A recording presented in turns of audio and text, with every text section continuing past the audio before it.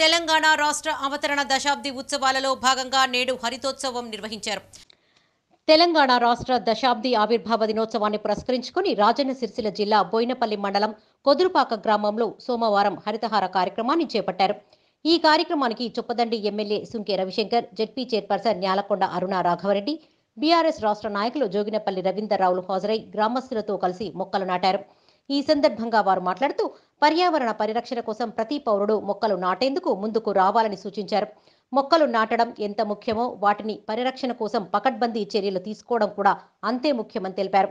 చెట్లను పెంచడం ప్రతి ఒక్కరూ సామాజిక బాధ్యతగా చూసినప్పుడే భావితరాలకు మంచి కాలుష్యరహిత సమాజాన్ని అందించగలుగుతామని. భారతదేశంలో ఏ రాష్ట్రంలో లేని విధంగా ఒక్క తెలంగాణ రాష్ట్రంలోనే హరితహారం పల్లె ప్రగతి కార్యక్రమాల ద్వారా ముఖ్యమంత్రి కేసీఆర్ కాలుష్యరహిత సమాజాన్ని నిర్మించడానికి ఎంతో కృషి చేస్తున్నారని అన్నారు.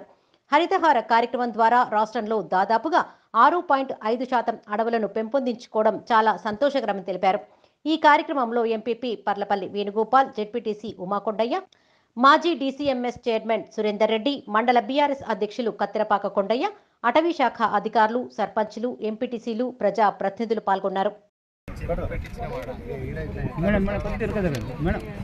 కేసీఆర్ గారు కేటీఆర్ గారు సంతోష్ కుమార్ గారు ఒక ఒక్క నిమిషం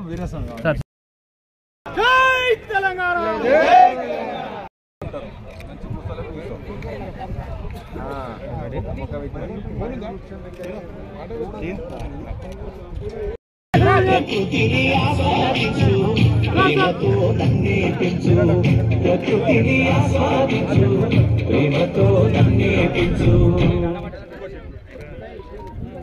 ఆ ఒక్క చెట్టు. జై తెలంగాణ! జై తెలంగాణ! జై తెలంగాణ! జై తెలంగాణ! Sir sir sir. జై హరితహారం! జై జై హరితహారం! సార్ జై సార్ హరితహారం!